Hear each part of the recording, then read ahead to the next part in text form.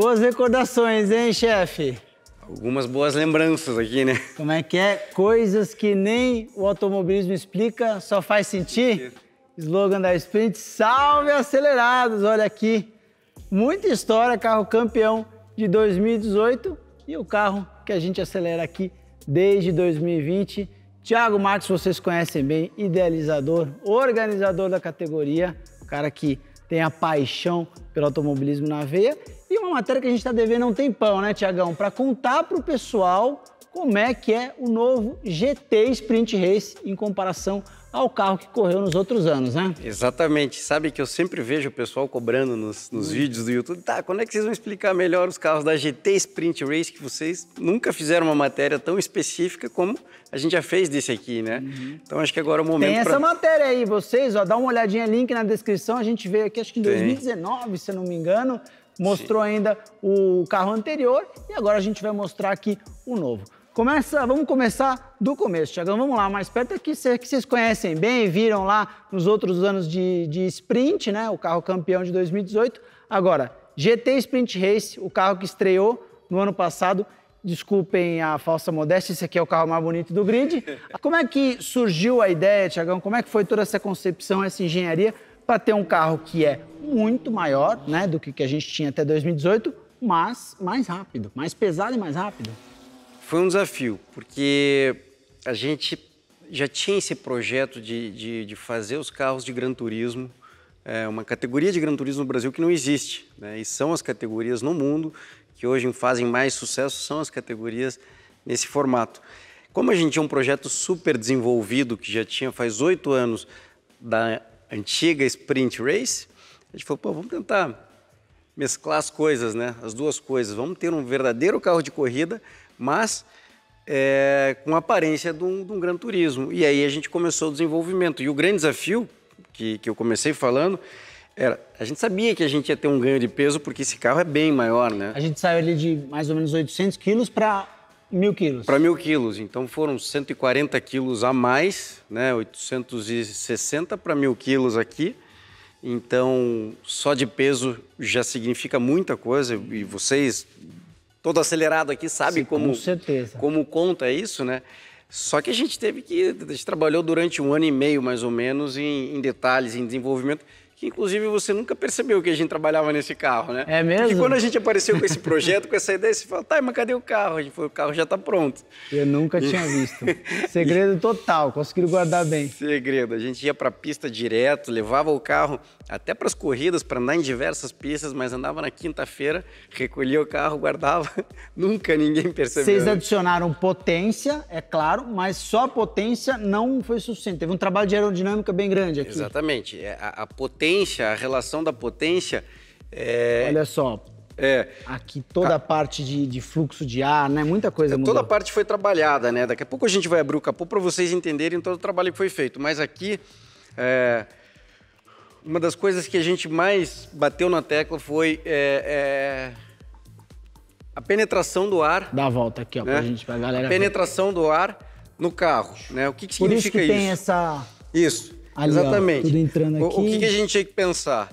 Primeiro, esse ângulo para-brisa teria que ser um pouquinho mais deitado do que o outro. Agora, olhando daqui, dá para perceber. Você já consegue perceber, muito né? Muito bem, né? É. Como ele é bem mais deitado. Então, ele, ele é um pouquinho inverso do outro em relação ao para-brisa, né? É, o outro começa mais inclinado e depois né, perde um pouquinho.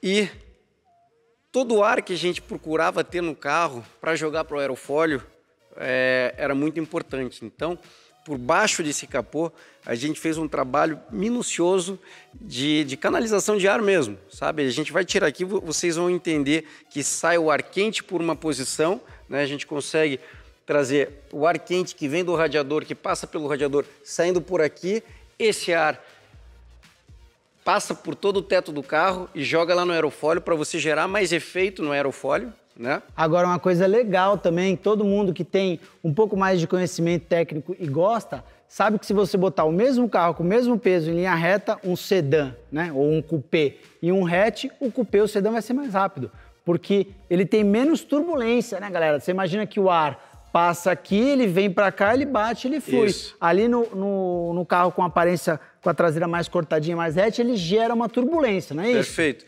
Só que essa turbulência, de uma certa forma, para a competição era legal, porque aquele carro gerava um vácuo enorme, Sim. que era uma característica da, da Sprint. Então, a gente tentou fazer com que essa asa, nesse formato, que é um formato já da NASCAR americana, que todo mundo conhece também, ela fizesse esse efeito de criar essa turbulência Ainda aqui. tem bastante vácuo. Tem muito, né? vácuo. tem muito vácuo. É muito parecido com aquilo lá, né? Com aquele Isso outro faz carro. as corridas tão dinâmicas, né? Você é. vê quando você junta ali um Thiago Camilo, um Júlio Campos, o um Casagrande, os caras que andam num ritmo assim muito próximo e os caras estão trocando de posição toda hora, porque subiu um retão ali de Interlagos, Curitiba, Goiânia, difícil não chegar lá do lado. E quem né? tem o recorde da vitória mais próxima? Falando em vácuo, 0002, já estamos no Guinness? Já já mandou Deve lá a requisição? Tá, já, já, já tá feito. O processo é demorado, mas vai Cara, entrar com Aquela lá a gente não sabia quem, quem mas tinha é consequência ganho, mas desse trabalho. É consequência, é consequência desse trabalho, né? Então, por que, que esses, esses, esses, essas aberturas são aqui em cima e não aqui embaixo? Para não atrapalhar o ar que vem para a asa traseira. Entendi. Por que, que a gente tem essas aletinhas laterais aqui? Porque esse ar que vem do carro de lá, ele também canaliza para a asa traseira. Asa então, traseira, a gente fica estimulando o ar para mandar lá, para gerar muito efeito aqui na asa traseira. A gente testou também aquela asa convencional, como era do antigo Sprint, como tem hoje na Stock Car, em qualquer categoria tem uhum. uma asa externa. E o efeito mais legal do vácuo, sem atrapalhar, sem atrapalhar o desempenho do carro, foi essa, aqui, aqui, que justamente que usam os NASCARs nas, nos, nos, ovais e, e, e, fazem aqueles Quer dizer, a concepção não foi pensando só no carro ser rápido, mas foi pensando também na categoria ter todo mundo andando junto e ter essa disputa com os vácuos. Perfeito. É, é todo, todo um desenvolvimento, mas sempre pensando no show, né? Bacana. Então o carro, em geral, de tudo que a gente está falando, o carro ganhou dois segundos, dois segundos e meio, ele é mais rápido do que aquele, mesmo 120 quilos mais pesado, 140 quilos mais pesado. Então, foi um, um desenvolvimento é, bastante criterioso, né? Que também tem uma entrada de ar grande aqui na traseira, na verdade é uma saída de ar, porque os pneus traseiros eles esquentavam mais que os dianteiros. Isso aí é uma coisa que eu que estou na Sprint já desde 2016, eu, eu já te falei isso algumas vezes.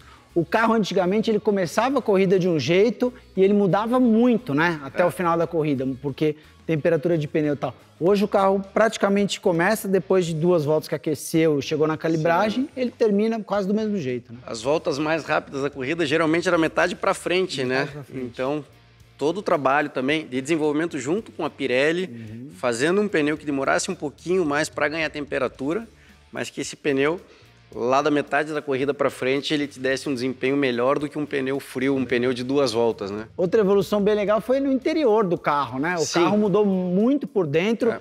Munhoz, vem cá, vê se você consegue pegar um pouquinho. A gente vai fazer umas imagens mais detalhadas aqui do nosso sprintão. Volante que é um show à parte, né? É um volante feito aqui pro sprint mesmo, é muito, é. muito bonito. Aqui você que não conhece tanto em detalhes o carro por dentro, a gente pode regular ali na barra, aqui ó, vai aparecer. Olha que garoto bonito aqui, hein? Parece até que acelera. Então, aqui você tem o botão do, do GT Attack, né? Que você pode usar. O famoso push to pass.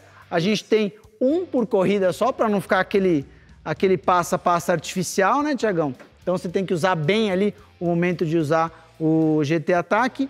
Ali também você pode regular a barra, que é a barra de é, enrijecer a dianteira, deixar mais duro, mais mole. Você pode regular também a distribuição de freio, pode mexer na asa e pode mexer na calibragem. São essas as regulagens que a gente tem, né? São essas as regulagens. É, entrou um painel no carro também, né? Também que dá um acabamento bastante. diferente.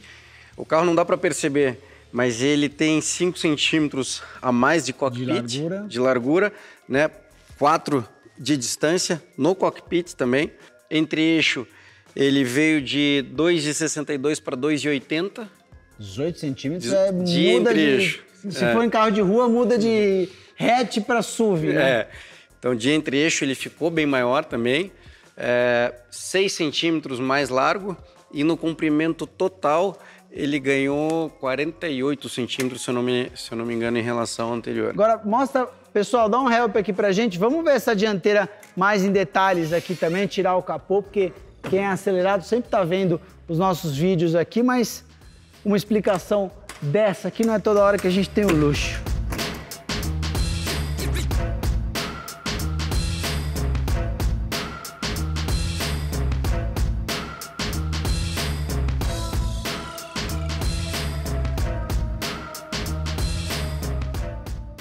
Conta pra gente aqui, Tiagão, tudo que vocês pensaram e toda a concepção dele. Então, é...